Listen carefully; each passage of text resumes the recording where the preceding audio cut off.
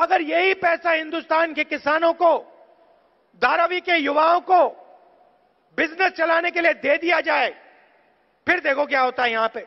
चमत्कार हो जाएगा हिंदुस्तान में।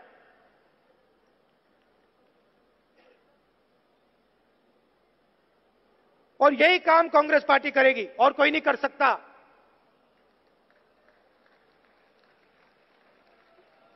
ट्राई कर लिया। देख लिया, सत्तर साल में कुछ नहीं हुआ, देख लिया क्या हुआ। पूरा का पूरा सिस्टम नष्ट कर दिया।